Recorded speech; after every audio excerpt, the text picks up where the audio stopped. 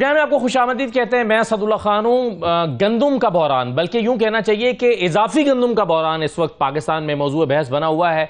इस पर सियासतदान भी अपनी बहस कर रहे हैं, इस पर कमेटियाँ भी बन रही हैं, इसमें रिपोर्ट्स भी पेश हो रही हैं, इसमें किसानों की प्रेस कॉन्फ्रेंस और एहतजाजों का ऐलान भी हो रहा है। प्रेस कॉन्फ्रेंस में किसान जो हैं, वो एक तरफ़ ये ऐलान कर रहे हैं, हम दस मई से अपना एहतजाज शुरू कर रहे हैं, दूसरी तरफ़ वो सख्त तरीन इकदाम उठाने का मुतालबा कर रहे हैं जिम्मेदारान के खिलाफ, और वो समझते हैं कि किसानों को तबाह कर दिया गया। दूसरी तरफ़ आर्गूमेंट ये पेश किया जा रहा है कि नहीं जनाब ये जो गंदुम है ये तो मंगवाने से फ़ायदा हुआ और फ़ायदा ये हुआ कि रोटी सस्ती हो गई। कल तक गंदुम के बहरान का मसला था यानी इजाफी गंदुम के, के बुलवाने से मंगवाने से जो बहरान पैदा हुआ। आज ये नया मौजू यह है कि गंदुम जो है वो खराब मंगवाई गई थी। कीड़ा पड़े गंदम मंगवाई थी, गई थी। ये फैसला किसने किया था? जो इब्तदाई रिपोर्ट पेश हुई है, वो जरा मैं आपके सामने रखता हूँ, फिर अनवर काकर साहब हमारे साथ मौजूद होंगे। आज के प्रोग्राम में उनसे हम गुफ्तु करेंगे। पहले जरा देख लीजिए कि रिपोर्ट क्या कहती है। रिपोर्ट कह रही है कि अगस्त 2023 से मार्च 2024 तक 330 अरब रुपए की गंदुम दरामद की गई। बैरून ममालिक से खरीदी जाने वाली 13 लाख मीट्रिक टन गंदुम में कीड़े पाए गए हैं। रिपोर्ट कहती है कि जी मजमू तौर पर गंदम दरामद पर एक अरब दस करोड़ डॉलर के अखराज हुए। इस रिपोर्ट में कहा गया है कि बाहर से गंदम 280 से दो सौ पचानवे डॉलर फ़ी मीट्रिक टन के हिसाब से दरामद की गई।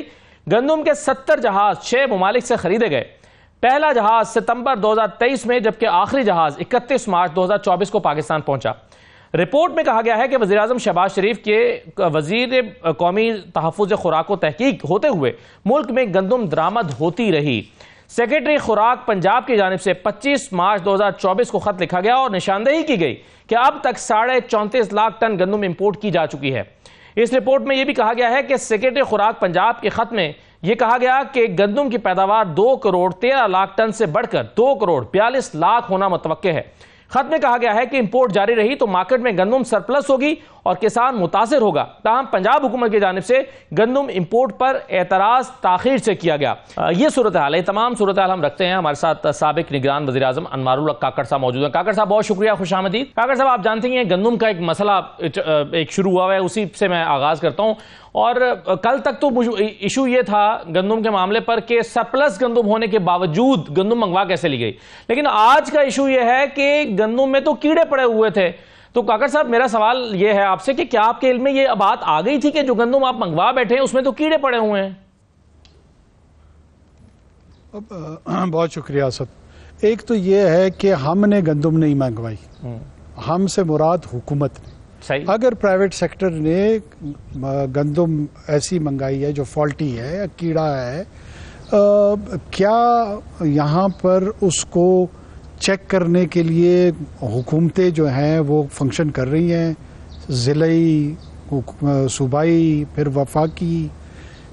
अगर कोई फॉल्टी गंदम या कोई और ऐसी चीज़ जो नाकस हो सेहत के हवाले से वो इस मुल्क में एक इम्पोर्ट हो जाती है उस पर चेक या कानून मौजूद है या हमने प्राइवेट सेक्टर को ये रिक्वेस्ट की थी कि यार कहीं पे कोई फॉल्टी गंदम है तो ये ज़रा प्लीज़ मंगा दो ताकि हम पाकिस्तानियों को खिला सकें।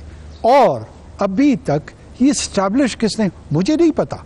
मुझे मेरे इलम में ये बात नहीं है कि जी फॉल्ट लोगों ने वो गंदम ये जो साठ कंपनियाँ हैं ना इनका डाटा मौजूद है कि कौन सी कंपनी ने मंगाई किसको बेची किस फ्लावर मिल में गई किस फ्लावर मिल ने डायरेक्ट मंगवाई फिर उन्होंने यूटिलिटी स्टोर पे बेचा आम दुकानों पे बेचा।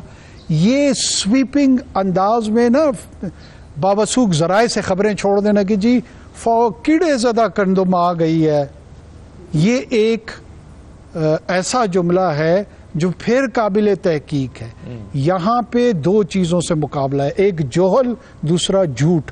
और इन दोनों से मुकाबला ज़रूर करना चाहिए लेकिन है बड़ा चैलेंजिंग और सख्त मुकाबला। सर लेकिन काकर साहब आप ये कह रहे हैं कि ये एक स्वीपिंग स्टेटमेंट है लेकिन मैं तो इस बुनियाद पे ये बात कह रहा हूँ ना कि जो फ़ूड सिक्योरिटी का मिनिस्टर है राना तनवीर साहब उन्होंने इसका नोटिस लेकर एक इंक्वायरी कमेटी तश्कील दे दी है और वो कह रहे हैं कि जी खराब गंदम मंगवाने के कीड़ा पड़े गंदम मंगवाने के जिम्मेदारों के गिर्द घेरा तंग किया जा रहा है ये अल्फाज इस्तेमाल हो रहे हैं उसके लिए। तो ये तो बहुत तो अच्छी बात है बहुत बहुत अच्छी बात है ना वो तो हुकूमत ने नहीं मंगवाई है। हम्म। जिसने प्राइवेट सेक्टर में मंगाई होगी उसकी सजा अगर एक साल है या फांसी है तो उसको मिल जाएगी। तो मैं इसका क्यों जवाब दूँ? तो काकर साहब आप इसका जिम्मेदार ऐसा समझते किसको है। कुछ लोग कुछ लोग इसको का जिम्मेदार आपको समझते हैं। आप किसे जिम्मेदार समझते हैं?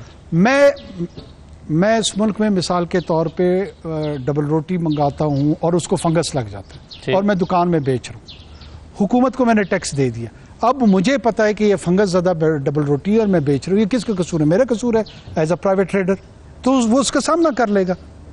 इसको स्कैंडलाइज करने की क्या ज़रूरत है? ये तो अभी तो दो ये एक ऑर्केस्ट्रेटेड कंपेन नज़र आ रही है। हम्म, किसके खिलाफ? जी जी। ये ऑर्केस्ट्रेटेड कंपेन नज़र आ रही है।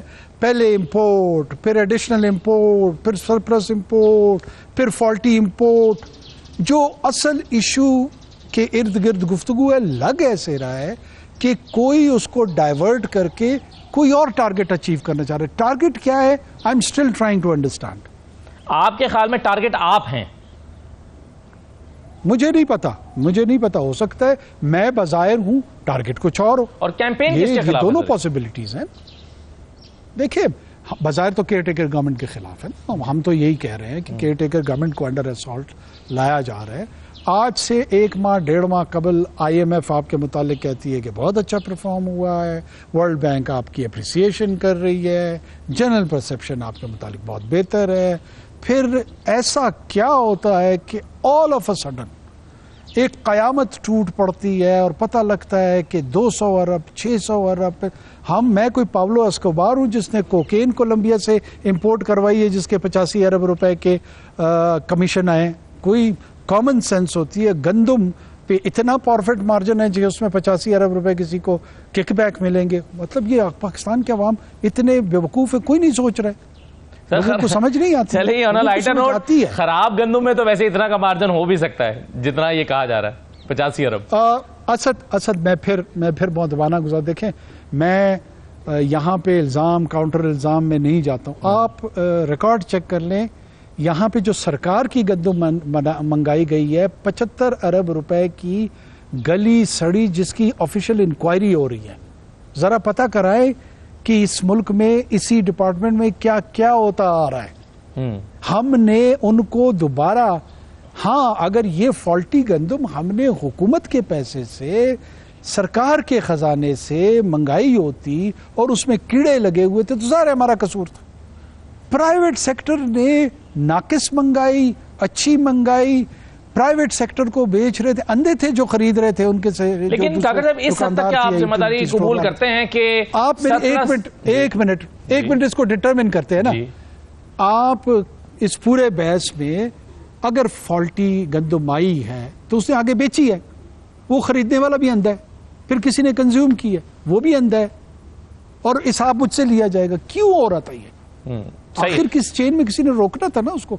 कोई जिला की हुकूमत होगी, कोई सूबे की हुकूमत होगी मॉनिटरिंग किसी ने रखी यहाँ पे नाकस दवाइयाँ बेची जा रही हैं, यहाँ पे नाकस खुराक बेची जा रही है, यहाँ पे तो बहुत सारी नाकस चीज़ें हो रही हैं। मुझे तो उससे इनकार नहीं है। लेकिन क्या इस मखसूस केस में हाँ। जी जी क्या इस हद तक आप समझते हैं कि ये निगरान हुकूमत की ज़िम्मेदारी बनती है ऑर्केस्ट्रेट किया जाए अच्छा ये क्या आप हाँ। समझते हैं इस हद तक के गंदुम के सरप्लस होने के बावजूद गंदुम इंपोर्ट करने की इजाज़त देना क्या आप समझते हैं कि इसमें कोई कोताही हुई है निगरान हुकूमत से असद इसमें फैक्ट्स पहले स्टैब्लिश हो लेने दें हम्म। ताकि सुनने वाले को आसानी हो समझने में एक तो इस मुल्क में इंपोर्ट की इजाज़त एक एसआरओ के ज़रिए होती है जिसको इंपोर्ट बिल ऑर्डर के नाम से मंसूब किया जाता है। और वो कानून डिफ़ाइन करता है कि किसी भी मखसूस शह में जिन्स में अजनास में कितनी रेगुलेटरी ड्यूटी लगनी है कितना उस पर विद होल्डिंग टैक्स लगना है कितने बांधा टैक्स लगने हैं या नहीं लगने हैं। हमारे यहाँ जो इंपोर्ट प्राइवेट सेक्टर को, जिस एस के तहत इजाज़त है, वो मोहतरम इमरान खान साहब की हुकूमत में 2019 से नाफिजुलमल है। और आज जब मैं और आप ये गुफ्तु कर रहे हैं, मेरी मालूम के मुताबिक अब तक लास्ट नाफिजुलमल है। ये हमने नहीं इंट्रोड्यूस किया है। ये जो मैं बार बार वजाते दे रहा हूँ कि हमने इजाज़त नहीं दी, हमने इसको कोई एक तरफ़ ले जा रहा है, कोई दूसरी तरफ़ ले जा रहा है। भाई, ये एक कानून S R O twenty nine, और बिल्कुल दुरुस्त हुआ था। क्योंकि कोविड था, उस वक्त आपकी ग्लोबल सप्लाई चेन्स डिस्टर्ब हुई हुई थी। उसके बाद आपके फ्लड्स आए हैं। ऐसी सिचुएशन जहाँ पे शॉर्टेज आपको वीट कंसिस्टेंटली उसका सामना करना पड़ रहा है। तो आपने इम्पोर्ट रिजीम को लिबरलाइज कर दिया। और उसमें प्राइवेट सेक्टर को अलाउ किया है इंपोर्ट करने में।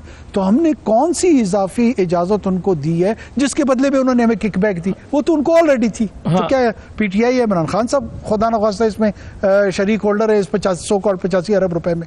हम्म, लेकिन तो फिर देखिए जब आपकी हुकूमत आने से पहले लेकिन क्या आने से आप डिटरमिन कर देना आप डिटरमिन कर दें कि अगर हमने इंपोर्ट की इजाज़त दी है उसके नतीजे में तो आधा पाकिस्तान हमें चोर समझ रहे हैं। तो वो तो पीटीआई की हुकूमत ने दी है। तो क्या वो भी इस चोरी में शरीक है? नहीं लेकिन ये जो फैक्ट है, नहीं है। जो जो आपकी आपकी हुकूमत आने से पहले जो पीडीएम की हुकूमत थी शबाज शरीफ साहब की हुकूमत के दौर में उनके पास ये समरी आई कि इसको जो है वो इजाज़त दी जाए लेकिन उन्होंने इसको मौखर कर दिया फैसला करके नहीं गए। और 25 जुलाई 2023 का वजी का बयान मेरे पास मौजूद है जिसमें वो कह रहे हैं कि हमारे पास सरप्लस गंदम और कपास मौजूद है हमें इंपोर्ट करने की ज़रूरत नहीं है हमारे डॉलर बाहर ना जाए।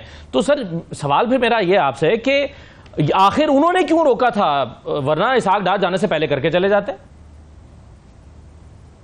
अच्छा। अब देखिए ना आपने जो अल्फाज इस्तेमाल किए उसमें तासर तो यही बन रहा है। उन्होंने मौखर किया ताखीर कर दी उस फैसले में इंपोर्ट से इनकार नहीं किया हाँ।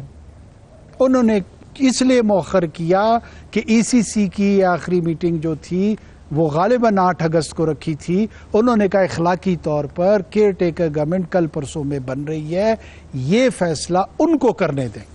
बजाय इसके कि हम करें। उन्होंने उसको मौखर कर दिया। पाँच छह दिन के बाद वही समझ दोबारा हमारे पास आ गई। हम्म। किसने आपको ये कह दिया कि आपने इस मुल्क में सरप्लस ग्रोथ की है? देखिए एक बम्पर क्रॉप और सरप्लस क्रॉप अगर आप इन दोनों की इंटरप्रिटेशन और ट्रांसलेशन की गलती करें बम्पर क्रॉस क्रॉप का मतलब है कि एक बेहतर फ़सल। माजी की नस्बत अच्छी फ़सल अल्हम्दुलिल्लाह ज़्यादा गंदम हुई है। सरप्लस का मतलब है इजाफी यानी हमारी जितनी ज़रूरत है तीस लाख टन है चालीस लाख टन है पचास लाख टन है हमने बावन लाख टन प्रोड्यूस कर दी हमने साठ लाख टन कर दी ये है सरप्लस हमारी कंजम्पशन पचास लाख टन है पिछले सालों के मुकाबले में हमने पैंतीस से इस दफ़ा चालीस कर दी तो ये बम्पर है। अब पूरे पाकिस्तान को लोग कंफ्यूज किए जा रहे हैं। बम्पर क्रॉप हुई है ना सरप्लस तो नहीं हुई। इस आ, बीच में आपका जो एक प्रोडक्शन टारगेट था और एक कंजम्पशन टारगेट था इसके बीच में गैप मौजूद था और पिछली पीडीएम हुकूमत ने उसी गैप को आइडेंटिफाई करते हुए एक समरी जनरेट की जिस पे उन्होंने डिसीज़न नहीं दिया डिस्कशन की। और कहा कि डिसीज़न केयर टेकर गवर्नमेंट कर ले। हमने उस पर एक डिसीज़न ले लिया। उस गैप को एड्रेस करने के लिए अगर गैप नहीं था तो सब जनरेट होने की क्या ज़रूरत थी? उसके जवाब ही क्या था? हम्म। इनके दौर में या हमारे दौर में। तो काका साहब आप ये समझते हैं। आज 6 मई 2024 को बैठकर आप समझते हैं कि वो फैसला बिल्कुल दुरुस्त था गंदम मंगवाने का। प्रॉब्लम यह है कि इस मुल्क में पंद्रह दिन से पूरे पाकिस्तान को यह बावर कराया गया है कि ये इंतहाई नाकस फैसला था, ये गलत फैसला था। इससे पाकिस्तान का जो इकनॉमिक पहिया है, वो बिल्कुल कोलैप्स हो गया है। पाकिस्तान तबाही के दाने पे आके खड़ा हो गया। अब ये वापस लोगों को यकीन दिलाना कि नहीं भाई, ऐसा नहीं था, ये बड़ा मुश्किल काम है। हाँ मैं अगर दोबारा जाऊँ, मैं यही फैसला करूँगा। आपको ये समझ आपसे मेरा जात को नहीं आपकी। जी। लोगों को ये समझ नहीं आ रही है कि जो 12 करोड़ लोग हैं खत गुर्बत से नीचे रहने वाले उनको रोटी सस्ती मिली है। ये जो फ़ायदा उनको गया है वो सवा खरब रुपए का है। चूँकि अशराफिया को इन 40 परसेंट जो पावर्टी लाइन से नीचे रहने वाले लोग हैं जो दिहाड़ीदार मजदूर है, जो ठेले वाला है, जो आपका कैमरामैन है, मेरी और आपकी तरह सफ़ेद पोश नहीं है, आपकी तरह एंकर पर्सन नहीं है, मेरी तरह सेनेट का मेंबर नहीं है, जज नहीं है, जर्नैल नहीं है, लीडर नहीं है। एक करोड़, दो करोड़, चार करोड़, पचास लाख, उसकी फॉलोइंग नहीं है। लिहाजा ये गरीब को जब सस्ती रोटी मिली है, किसी को इसमें इंटरेस्ट नहीं है। उसके साथ उसके नाम पे तो हर एक मफाद बना रहा है लेकिन उसके मफाद में किसी को इंटरेस्ट नहीं है। किसी ने यह तस्करा नहीं किया कि सवा खरब रुपया इस टारगेटेड ग्रुप को फ़ायदा मिला है। सस्ती रोटी मिली है। दूसरा इतराज क्या करते हैं? जनाब आपने डॉलर का जिया कर दिया। हाँ। इतना रिज़र्व पे प्रेशर ले आए। जी। आप ऐसे करें ज़रूर एतराज़ करें। पाकिस्तान का इंपोर्ट बिल कंपेयर करें। कि पाकिस्तान ने पिछले एक साल में, उससे पहले एक साल में अपने इम्पोर्ट पे कितना फॉरेन रिज़र्व जो है ना उसको स्पेंड किया और किन किन चीज़ों पे किया? चालीस हज़ार रुपए का एक बैग फ़ूड डॉग कुत्ते को खाना खिलाने के लिए डॉलर कहते हैं अवेलेबल है, उस पर किसी को। ना सदुल्ला को एतराज़ है, ना अनवार को एतराज़ है, न किसी और एंकर पर्सन न किसी ट्विटर के शहजादे को एतराज़ है, न किसी लीडर को एतराज़ है, न अंदर रहने वाले को एतराज़ है, न बाहर रहने वाले को एतराज़ है। कुत्ते की खुराक पे मर्सडीज़ पे बीएमडब्ल्यू पे, मेरी बेगम और आपकी बेगम के मेकअप के सामान पे जितने लग्जरी आइटम्स है। पाँच अरब डॉलर के लगभग चाय पीती है ये कौम। क्योंकि साहब बहादुर ने दफ्तर में एंटरटेन करना होता है लोगों को। चाय के लिए पाँच अरब डॉलर है लेकिन ये बारह करोड़ गरीब जो कि दो वक्त रोटी में से एक वक्त अफोर्ड करते हैं हाँ। उनको इस मरतबा दूसरे वक्त की भी रोटी मैसर आ गई। तो किसी को कोई काकर साहब लेकिन इसमें ये तस्वीर का एक कर दिया गाली भी दे काकर साहब ये तो तस्वीर का एक रुख है ना कि चलिए रोटी सस्ती हो गई। लेकिन अगर गंदुम इतनी मंगवा ली गई थी कल पंजाब हुकूमत ये कह रही थी कि हमारे गोदामों में एक बोरी गंदुम रखने की जगह नहीं हम खरीद ही नहीं सकते। तो फिर किसानों को ये किसने बताना था कि आप गंदुम मत उगाएँ? गंदुम तो ऑलरेडी हमारे पास आ गई है। ये किसानों का, का जो नुकसान हुआ है वो भी तो इसी सोसाइटी का हिस्सा है जिनका नुकसान हो गया है जो आपकी खुदाना खास्ता फांसी का मुतालबा कर रहे हैं आज एक शॉर्ट मेरे पास मौजूद है वो कहते हैं कि जी जिम्मेदारों को और आपका नाम लेकर कह रहे डजेंट मैटर कोई फ़र्क नहीं पड़ता। ये किसान हमारे भाई हैं और क्या ये तमाम किसानों की आवाज़ है नहीं है? इस पे मैं जाता ही नहीं वो ये डिमांड करे वो डिमांड करे। अगर कोई चीज़ स्टैब्लिश होती है जेल देते हैं फांसी देते हैं। जब हम सियासत में आए तो इसमें जेल भी हो सकती है फांसी भी हो सकती है तख्त भी हो सकता है तख्ता भी हो सकता है। ये चीज़ें सारी सारी ज़िंदगी के साथ चलती हैं। इसको छोड़ दे कि उनकी क्या डिमांड है क्या नहीं है। बात करते हैं असल इशू पे असल मुद्दे पे। मुद्दा ये है कि यहाँ किसान जो है ना किसान का मसला अलग है उसको सोइंग के टाइम पे हुकूमतें ने एक क्या निज़ाम तरतीब दिया हुआ है कि सपोर्ट मैकेनिज्म प्राइस डिक्लेयर करते हैं हाँ। वो कैलकुलेशन करते हैं कि पर एकड़ में इसकी डीपी का क्या खर्चा आएगा खाद का क्या खर्चा आएगा अपनी ज़मीन है इजारे पे ज़मीन है जब ये साल की उसकी कैपिटल मेहनत भी उसमें आप डाल दें तो उसके अगेंस्ट लेट से एक लाख रुपए एकड़ पे अगर उसकी कॉस्ट आ रही है तो सत्तर हज़ार एक लाख दो लाख जो भी कैलकुलेट वो करते हैं इतने उसको प्रॉफिट मिलना चाहिए तो वो उसको सपोर्ट प्राइस इंश्योर कर देते ठीक है? जी। ये एटीन अमेंडमेंट के बाद अब सूबे अपना खुद करते हैं पहले वफाकी हुकूमत करते सही। अब एक सूबे के देखा देखी तमाम सूबे कोशिश करते हैं कि एक जैसा रखें। इलेक्शन से पहले इनकी हुकूमतें थी उसमें उन्होंने डिसाइड किया सिंध ने और पंजाब के बीच में नुक़ नज़र मुख्तलिफ़ था। जब सिंध ने उसको लगभग चार हज़ार के करीब कर दिया पंजाब को भी वही फॉलो करना पड़ा। हालाँकि मेरी मालूम ये है कि उनकी राय मुख्तलिफ़ थी। अब जब सोइंग के टाइम पर उस वक्त हुकूमतें इलेक्शन सीज़न में जा रही इलेक्शन के आ, आने वाला था और सोइंग सीज़न भी उसके बाद ही अनजस्टिफाइड थी। प्राइस कीमतें पहले मुकर करती हम्म। भाई अब, अब पूरा एनालाइज करें ना देखें। हाँ। उसके बाद मुझे फांसी चढ़ा देना। ये करने के बाद आप कमिट करते हैं फार्मर के साथ किसान के साथ कि आप जो ग्रो करेंगे मैं उसको चार हज़ार रुपये टन में लूँगा। आपने बारदाना का एक निज़ाम मुतारफ कराया हुआ गंदा है अच्छा है एक हाँ। निज़ाम है। ठीक। अब जब आप का इलेक्शन गुजर गया नई हुकूमत आ गई उनके प्रोक्योर आर वश तैयार हो गई अब प्रोक्योरमेंट का टाइम है। गवर्नमेंट ये कहती है फॉर राइट और रॉन्ग रीजंस उस पर हम बात कर लेंगे कि हमने ये प्रोक्योरमेंट जो फोर मिलियन मैट्रिक टन की थी थी हम उसको ऑनर नहीं कर रहे हैं हम टू तक करेंगे। जहाँ से ये पूरा मसला ट्रिगर होता है। जी। उसका जेनेसिस यही है। जब उसमें बहस शुरू होती है उसमें आता है कि जी इजाफी गंदुम आ गई। जो टारगेटेड गैप था ना वो 3.4 मिलियन ये कहते हैं टन आई है। जी। और जो टारगेटेड गैप था वो 2.4 मिलियन मेट्रिक टन था। जो हमारे दौरानिए तक आई है वो 2.9 million metric ton three point one शायद। सॉरी सॉरी सॉरी नहीं। चार लाख टन हमारे 2.9 2.9 मिलियन मैट्रिक टन हमारे दौरानिया तक आया। ये जो डेढ़ माह अभी गुजरा है नौ लाख टन इसमें आया है। यानी हमारे दौर में आया हुआ बकौले इनके जो इतराज लगा रहे चार लाख टन जो पाकिस्तान की कंजम्पशन क्या दो दिन है। उस पर भी एक कमेटी बनी है उसके ये तो बाद ये में कैसे आ गया? लेकिन लेकिन उसमें जस्टिफिकेशन ये दी जा रही है कि वो पहले के ऑर्डर से क्या मैं आ जाता नहीं आप पूछे पूछे।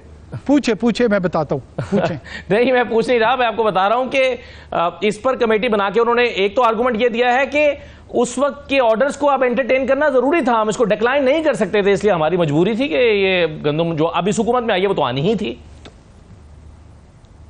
और मेरे भाई यही मैं मैं तो इसको भी क्रिटिसाइज नहीं कर। रहा मैं कहता हूँ वो भी दुरुस्त था और ये भी दुरुस्त था ये क्राइसिस ही नहीं है।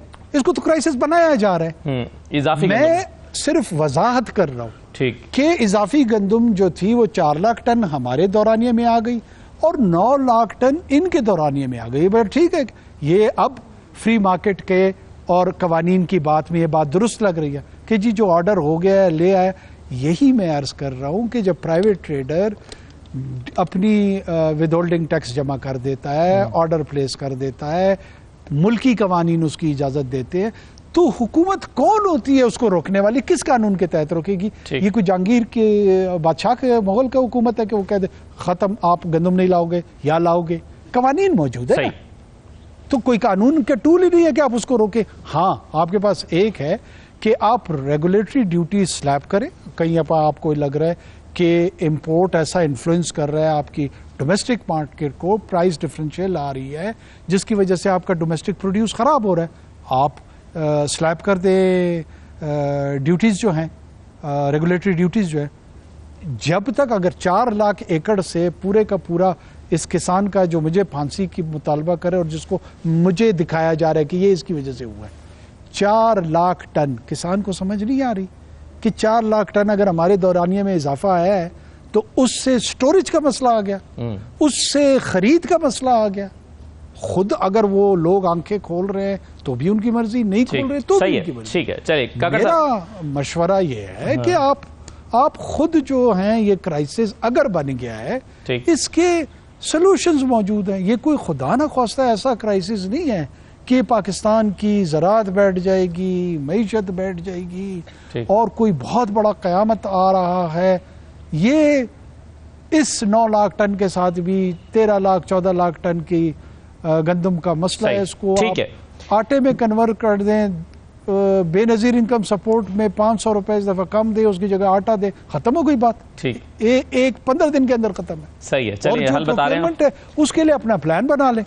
राइट ठीक है काकर साहब एक ब्रेक लेते हैं प्रोग्राम में। ब्रेक के बाद वापस आते हैं तो चंद सवाल में इलेक्शन और उसमें होने वाली मुबैना धांधली के हवाले से काकड़ साहब के सामने रखना चाहता हूँ कि क्या इलेक्शन शफाफ हुए हैं? काकड़ साहब क्या समझते हैं? और ये जो फॉर्म 47 की बात हो रही है कि जी, ये हुकूमत तो फॉर्म 47 की बुनियाद पर बनी है, क्या ये इल्ज़ाम दुरुस्त है? एक छोटा सा ब्रेक लेते हैं, ब्रेक के बाद वापस आते हैं।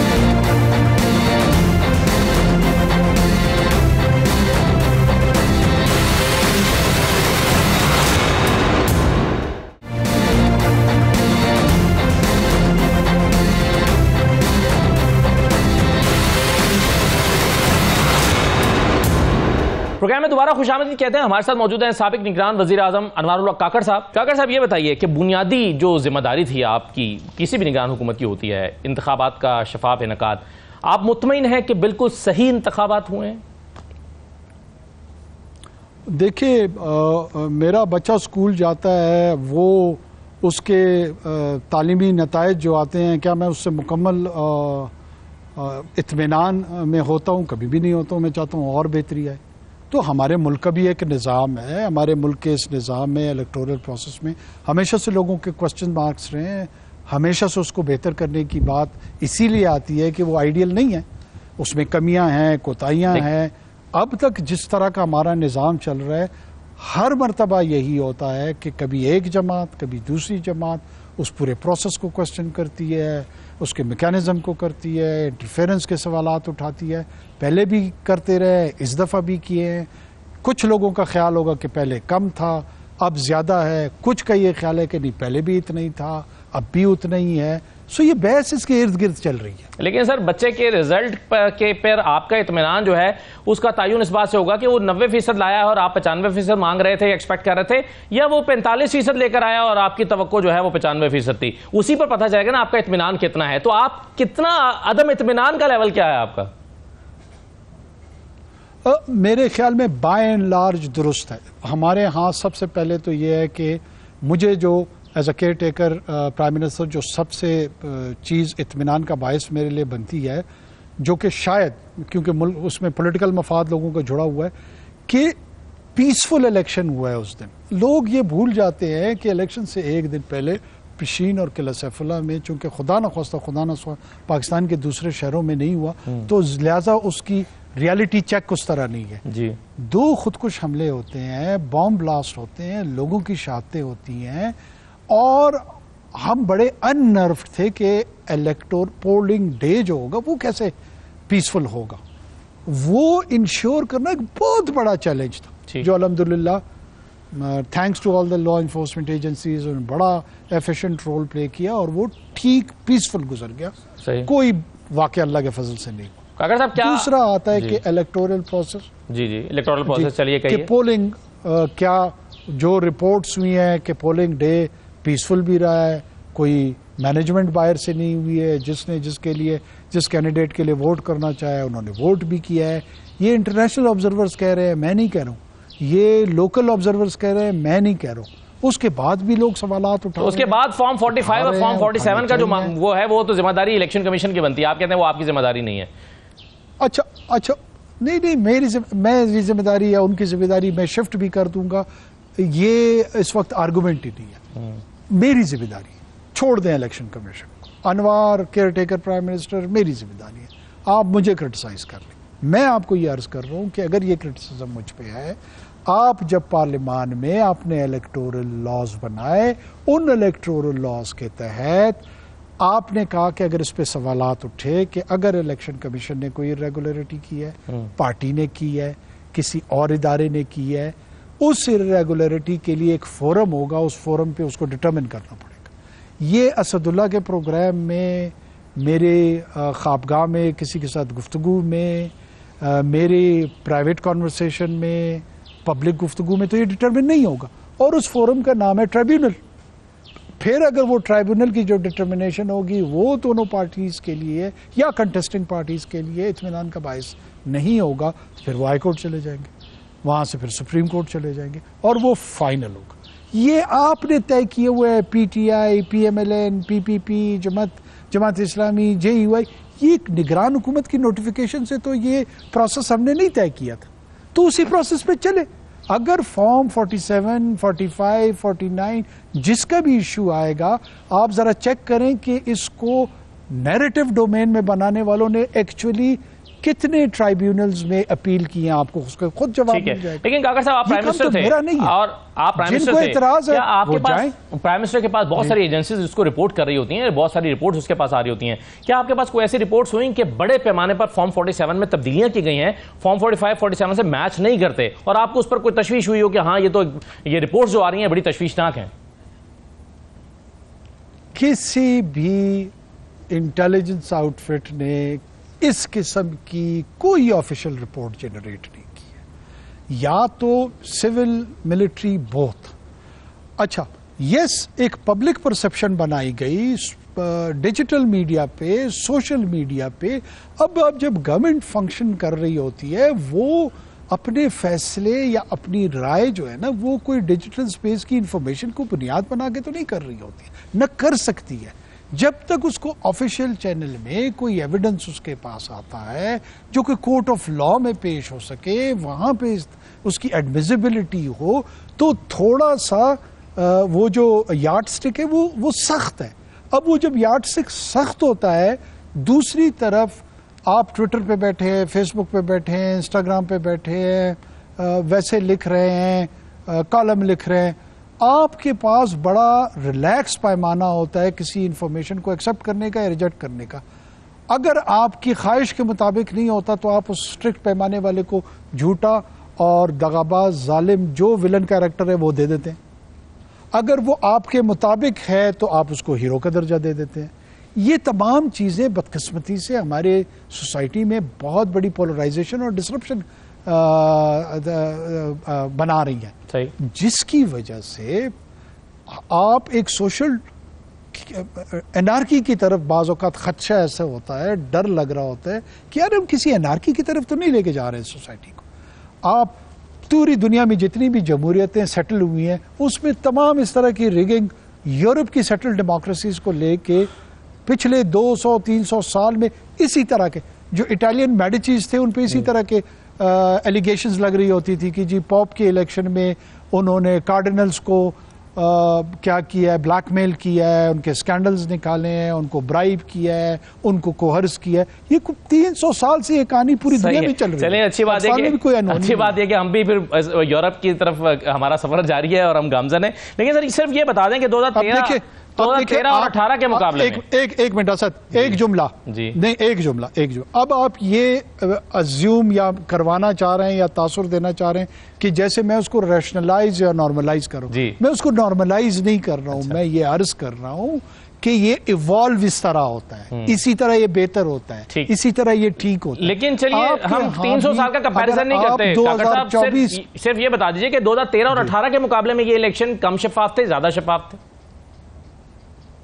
देखिए, इसको तो डिटरमिन जो ऑब्जर्वर हैं, वो करेंगे। मैं अपनी राय में कहूँगा कि वो ज़्यादा कंट्रोवर्शियल थे, वो ज़्यादा साफ़ और शफाफ नहीं थे, हमारे वाले तो नस्बता ठीक थे। ये तो मेरा मानना हो, या मेरा कहना होगा। जिसकी रेलिवेंस इतनी नहीं है। ये ऑब्जर्वर्स जो बाहर के देख रहे हैं, वो इस पर राय कायम करेंगे कि 2013 में था। आप ज़्यादा ज़्यादा ये कहेंगे कि अच्छा यार वो तो बड़ा सोफिस्टिकेटेड अंदाज में था। इस दफ़ा सोफिस्टिकेटेड नहीं था या 2018 में ज़्यादा सोफिस्टिकेटेड था। ये कॉन्स्टेंटली सारे तस्लीम कर रहे हैं कि जी रिगिंग जो है it is part of the electoral process बाज़ ऑर्गेनाइज रिगिंग पोलिटिकल पार्टीज़ कर एम क्यू एम पे क्या इल्ज़ाम लगता था? एम क्यू एम पे ये इल्ज़ाम लगता था कि मरे हुए का वोट भी कास्ट हो जाता है। हम्म। हर एक पे की कॉन्स्टिट्यूंसी में एक एक लाख वोट दस बजे तक पड़ जाता था। ये इल्ज़ाम लग रहे होते थे। अब प्रॉब्लम ये आ रही है कि इस वक्त चूँकि मेरा पसंदीदा रहनुमा, मैं समझता हूँ मौना फजल साहब, या नवाज़ शरीफ साहब, या इमरान खान साहब, या बिलावल भुट्टो साहब, अगर मेरे पसंदीदा रहनुमा के रिज़ल्ट के मुताबिक वो चीज़ नहीं आई है तो मैं समझता हूँ ये ज़्यादा तकलीफ़ दे बात है। ये ये भी एक फैक्ट है। अगर मेरे पसंदीदा रहनुमा के मुकाबले में तेरह में अठारह में कि आठ में दो में कोई भी रिगिंग हुई है तो मैं कहता हूँ नहीं ये अपने आप को तसली देता हूँ कि यार इस दफ़ा जो है ना वो बड़े जो है ना खुले डुले अंदाज में वो पहले ऐसे तो नहीं होता था। रिगिंग पे मुझे इशू नहीं है। मैनिफेस्टेशन ऑफ़ रिगिंग को मैं इशू बना रहा हूँ। यानी अगर मैंने थोड़ा सा चौड़े सीने के साथ इस दफ़ा कहते हैं कि हो हम्म। गई है बकौले लोगों के तो उनको चौड़े सीने पे एतराज़ है। जो असल रिगिंग है उस पर कोई नहीं आ रहा। अगर आप चाहते हैं कि असल रिगिंग ना हो तो उसके लिए तो निज़ाम की दुरुस्तगी चाहिए होगी इलेक्टोरल प्रोसेस की दुरुस्तगी चाहिए होगी। तमाम सियासी जमातों को इस पर निगोशिएट करना पड़ेगा। उस निगोशिएशन के तहत किसी न किसी दर्जे में कोई रूल्स ऑफ़ इंगेजमेंट करनी पड़ेगी और फिर उसको हतमी तौर पर तस्लीम करते हुए आगे चलना पड़ेगा और ये आगे भी इलेक्शन आने हैं। दो पाँच साल बाद आने हैं फिर उसके बाद आने हैं। आखिर ये वंस एंड फॉर ऑल हम इसका तस्फिया क्यों नहीं करते? हम इस रिगिंग के इशू को एड्रेस क्यों नहीं करते? आपने साबित कर दिया कि मैं सबसे बड़ा विलन चले साबित हो गया। इसके बाद इलेक्शन नहीं आना है। अब रिगिंग होगी या नहीं होगी? मैं विलन निकल गया एक नया विलन आ जाएगा। रिगिंग तो वही रहेगी ना। रिगिंग। को क्यों नहीं एड्रेस कर रहे आप विलन में इंटरेस्टेड है आप गाली देने में आप गुस्से में है आप डिसरप्शन में है मैं तो आपको ये कह रहा हूँ कि हो सकता है इसका भी थोड़ा बहुत आपकी नज़र में कोई जवाब होगा लेकिन वो इसका हल नहीं है अगर आपके पास जवाब भी है अगर आप हल चाहते हैं तो जो असल मुद्दा है जिसके हम्म। लिए आप भी समझते हैं बाकी जमातें भी समझती हैं। कभी कोई गिला कर रहा होता है कभी कोई और गिला कर रहा सही होता है। लेकिन तो आए लेकिन सर आप ये तो काकर साहब इस बात से तो शायद आप शायद आप इतफाक कर पाए कि इस मरतबा अगर रिगिंग हुई है तो जैसा कि कुछ सियासी जमातों का दावा है तो इस दफ़ा की रिगिंग बाकी माजी की रिगिंग से काफ़ी हद तक मुख्तलिफ़ है। इस मरतबा एक सियासी जमात के बाद निशान नहीं था। लोग बड़ी तादाद में उनको वोट करने के लिए निकले भी। फॉर्म 45 और 47 का डिफरेंस माजी में इतनी बड़ी तादाद में कभी सामने नहीं आया ना इसका दावा हुआ है और ना लोगों के पास तरह के फॉर्म 45 मौजूद थे जो 47 से मैच नहीं करते। तो कई हवालों से ये रिगिंग बिल्कुल मुख्तलिफ़ थी और इस मरतबा तासुर यह था कि नतज जो है उसको शायद पहले से सोचा गया था कि किस जमात को नहीं आने देना और किस जमात को की हुकूमत बनानी है। अच्छा इसको इम्पैशनेटली फिर एनालाइज कर लेते हैं। हाँ। देखिए आपका सवाल यह है कि इस मरतबा की रिगिंग यानी पहली मरतबा की रिगिंग उससे पहली मरतबा की रिगिंग और उससे पहली मरतबा की रिगिंग में कांस्टेंट जो है वो रिगिंग है।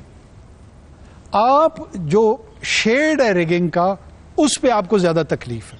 हो सकता है इससे पहले की रिगिंग जो है ना, जो रिगिंग करने वाले थे, उन्होंने अपने चैलेंज को एसेस किया और उसके मुताबिक रिगिंग का प्लान बनाया। उससे पहले जो रिगिंग कर रहे थे, वो उसके चैलेंज को देखते हुए बनाया। इस दफ़ा रिगिंग इस दफ़ा के चैलेंज को देख के बनाया। जो आगे वाली रिगिंग होनी है, वो उस चैलेंज को देख के होगी। भाई, मैं ये अर्ज़ कर रहा हूँ रिगिंग कर, खत्म करनी है नहीं करनी है? अगर रिगिंग खत्म करनी है तो फिर रिगिंग पे गुफ्तगु करते हैं। अगर आपने कहना है कि नहीं, मैं तो बाकी रिगिंग करने वाले के मुकाबले में इस दफ़ा जिसने रिगिंग की है, उसको नीचा दिखाऊँगा, उसको दुनिया के सामने खुला एक्सपोज करूँगा। करने ले कोशिश, मैं आपको रोक नहीं रहा हूँ। मैं ये कह रहा हूँ जो असल मुद्दा रिगिंग का है, वो वहीं का वही रहेगा। सही। ठीक है, काकड़ साहब एक ब्रेक ले रहे हैं प्रोग्राम में। ब्रेक के बाद वापस आएँगे तो मैं ये भी जानना चाहूँगा कि काकर साहब का नाम हम चेयरमैन सेनेट के तौर पर भी सुन रहे थे। क्या हुआ फिर? ये प्रपोजल कहाँ से आया था? क्या ये ऑफ़र थी काकड़ साहब के पास कि वो चेयरमैन सेनेट बन जाएँ, या ये खबर दुरुस्त ही नहीं है? तो इस हवाले से अनवर काकड़ क्या कहते हैं? छोटा सा ब्रेक लेते हैं ब्रेक के बाद वापस आ रहे हैं।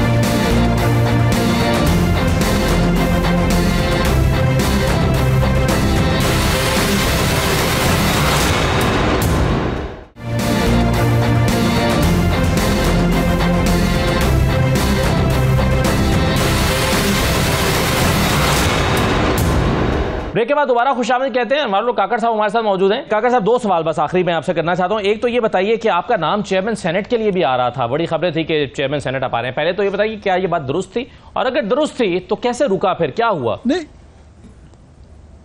नहीं नहीं, ऐसी कोई बात नहीं थी। मुझे न किसी ने कहा। वो इन सियासी जमा, बड़ी सियासी जमातों के बीच में मुख्तलिफ़ पोजिशन के लिए पोलिटिकल निगोसिएशन इनकी हुई और उन निगोसिएशन के नतीजे में स्पीकर नेशनल असम्बली सरदार आया सादिक साहब के हिस्से में आए। पीपल्स पार्टी ने अपना कैंडिडेट यूसुफ रजा गलानी साहब को, जो कि बहुत सीनियर सीज़न पॉलिटिशियन है, उनको चेयरमैन सेनेट के लिए नॉमिनेट कर दिया। आसिफ अली जजा साहब प्रेसिडेंट के अहदे के लिए आ गए। मियाँ शहबाज साहब जो है, prime minister of Pakistan elect होकर आ गए। तो इसमें मैं एक इंडिपेंडेंट सेनेटर, मेरी गुंजाइश बन ही नहीं रही थी। ये कैसे पॉसिबल हो सकता था कि मैं उस पोजीशन पे जो कि एक कॉन्स्टिट्यूशनल प्रिविलेज है वो मेरे तरफ़ आती है आई नीडेड क्यों नहीं हो सकता? आप आखिर out of out of no out of no where आप राजा रियाज के भी तो पसंदीदा हो गए थे जिन्होंने आपका नाम दिया था वज़ीर आज़म के लिए। तो इसमें क्या बात थी? अच्छा अब मैं समझता हूँ ना कि अगर आ, ये वो हो सकता था वो इसलिए हो सकता था कि वो दो बंदों ने लीडर ऑफ़ द अपोजिशन ने और लीडर ऑफ़ द हाउस ने डिसाइड करना था। तो उन दोनों ने डेलिब्रेट किया उसको असद ने कहा उसको कैपिटल टॉक वाले ने कहा उसको किसी और ने कहा। ये तो आपकी अपनी अपनी स्पेकुलेशन है। लेकिन ये प्रोसेस में दो लोग इन्वॉल्व थे उन्होंने फैसला कर लिया।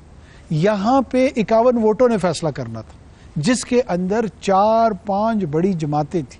अगर आपने पैरेलल निकालना था तो आप 2018 के चेयरमैन सेनेट के इलेक्शन से ज़रूर निकाल सकते कि वो कैसे हुआ या फिर 2021 में कैसे हुआ। या उनका वोट ऑफ़ नो कर लेकिन चूँकि वो वाला पीरियड में शायद बहुत ज़्यादा दिलचस्पी क्योंकि मैंने आपको अर्ज़ किया ना कि आपको रिगिंग के एक शेड में इंटरेस्ट नज़र आ रहा है। हम्म। पूरे रिगिंग से आपको बहुत ज़्यादा इख्तलाफ मुझे ऐसा लग रहा है कि नहीं है। जिन दो लोगों ने आपका आप के लिए मुशावरत करके किया उसमें से पहला रबता सर आपका किससे हुआ था? या किसने आपसे पहला रबता किया था? राजा रियाज साहब ने? या उनके किसी और नुमाइंदे ने? नहीं मुझे, मुझे नहीं मुझे प्राइम मिनिस्टर साहब जो करंट प्राइम मिनिस्टर और उस वक्त प्राइम मिनिस्टर शहबाज साहब ने ठीक है। आखिर में सर ये कंसिडर कर रहे हैं आप इसको कंसल्ट करेंगे। जी जी। सही। अच्छा ये बता दीजिए सर कि मुस्तकबिल में किसी सियासी जमात को ज्वाइन कर रहे हैं? अभी चूँकि आजकल तो आपके खिलाफ जिस जमात ने महाज बनाया हुआ है कुछ लोग समझते थे कि शायद आप उसी जमात में जाएँ। आपकी शायद मरियम नवाज़ साहबा से मुलाकात भी हुई थी प्राइम मिनिस्टर बनने से पहले। तो क्या आपका सियासी इरादे क्या है मुस्तबिल के? देखिए अब ये देखें ना ये सब कुछ स्पेकुलेशन पे चल रहा था। कोई मुझे कह रहा था कि नून में जा रहा है। हाँ। कोई कह रहा था पीपल्स पार्टी में शामिल होकर चेयरमैन सेनेट बनना चाह रहा है। और जितनी मुँह उतनी बातें थी। लेकिन जो असल हकीकत है कि हमारा इंडिपेंडेंट का मोहसिन नकवी साहब का मेरा फैसल वाडा साहब हम तीनों का एक सेनेट में ग्रुप फॉर्म हुआ है। जो बहुत छोटा है उसका असर पॉलिटिकल शायद इतना ना हो। लेकिन बाज़ अवत आपको पता है कि ऐसी ऐसी लेजिस्लेशन होती हैं जिसमें एक एक वोट कीमती होता है। तो हम अपना इफ़ेक्टिव छोटा ग्रुप बना के कोशिश करेंगे कि जहाँ जहाँ पॉलिसी मेकिंग में लेजिस्लेशन में अपना किरदार है, वो हम अदा कर सकें।